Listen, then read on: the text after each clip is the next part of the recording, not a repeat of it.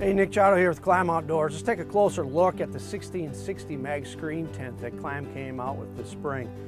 Super easy setup, ready out of the box, no loose parts. I'm gonna get the top panel exposed here. As you can see, um, with the green top, I'm gonna grab the roof line, grab this black tab, pop it out.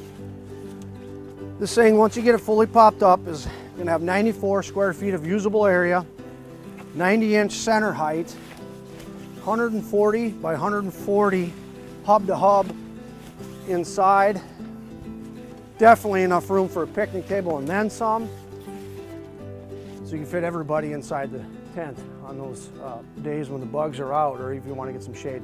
Last step to the process, we're going to go inside and pop up the center hub. Nice and easy, push on the center hub, pops up and you're ready to go.